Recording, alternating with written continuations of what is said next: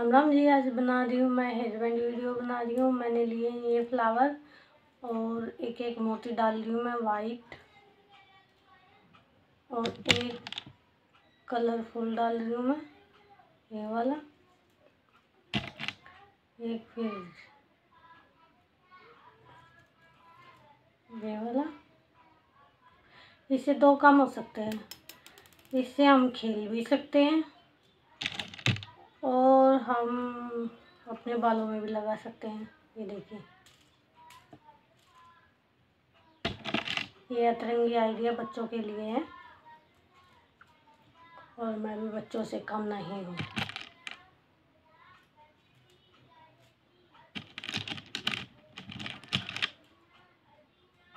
तो ये बच्चों के लिए ही क्राफ्ट है, ये देखिए।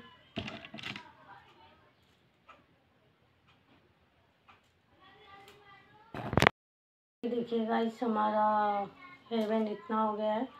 इसमें हम इससे वाइट मोती और पिंक कलर का मोती डालेंगे। फिर हम ये वाला फुल फ्लावर डालेंगे। ये देखिए गाइस हमारा हेयर बैंड कितना सुंदर लग रहा है। ये देखिए।